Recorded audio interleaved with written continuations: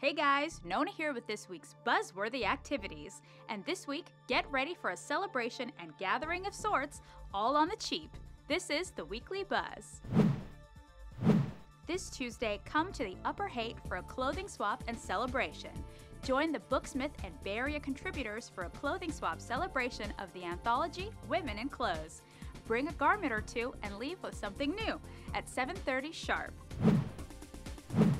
Then on Thursday, head to the Yerba Buena Center for the Arts for a monthly art gathering. The YBCA Converge Series is a free monthly public gathering featuring creative and social art practices. Enjoy art, live music, and curated performances from 4 to 8 p.m.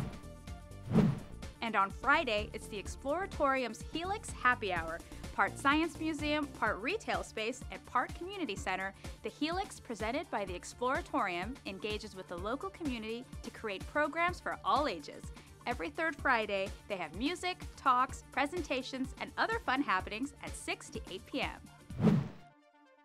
And that's the Weekly Buzz. For more info on these events and more, visit us at sfgovtv.org and click on Weekly Buzz.